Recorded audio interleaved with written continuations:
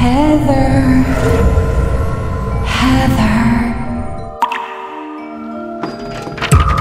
Take your filthy hands off of my necklace, you sneaky thief. You. You put this in my room. This is a Blake family heirloom. My mother gave this to me. I would never let it leave my sight. We give you food and shelter, a job to support yourself, and look at how you repay us. Pack your stuff and get the out of this house. You can't kick her out, Fiona. She'll die out there. I'll consider letting you stay if you get down on your knees and beg for my forgiveness. In your dreams. Then I hope you enjoy the life on the streets. At least before you get torn to pieces by the rogue vampires.